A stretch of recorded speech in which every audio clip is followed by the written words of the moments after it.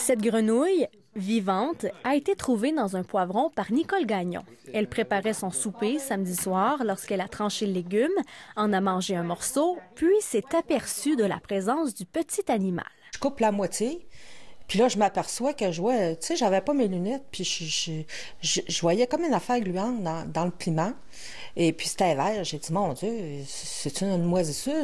En l'approchant, je vois deux yeux. Fait que là, j'ai dit, hein, c'est quoi ça? Là, j'ai dit, hein, c'est une grenouille. Fait que là, euh, je crie après mon mari, Gérard, il y a une grenouille dans le piment. Je regarde la, la, grenouille, puis elle commence à bouger. J'ai dit, tiens, elle est vivante. Elle est vivante, la grenouille. Fait que et la grenouille était bel et bien vivante et elle l'est toujours. Le couple l'a mise dans un bocal avec le poivron et compte la remettre au ministère de l'Agriculture, des Pêcheries et de l'Alimentation. Le MAPAC transmettra ensuite le dossier à l'Agence canadienne des aliments puisque le légume a été importé d'Amérique du Sud.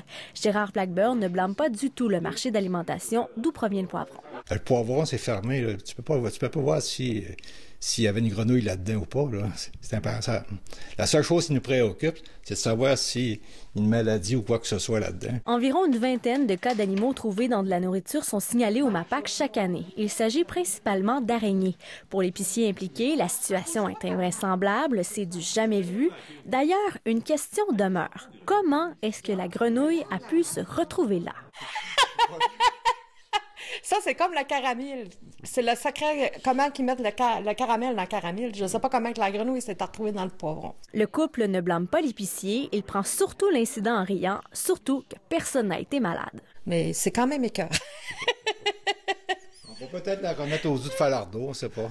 Oh mon Dieu! Ici Mélissa, ça va sur les Radio-Canada. Saguenay.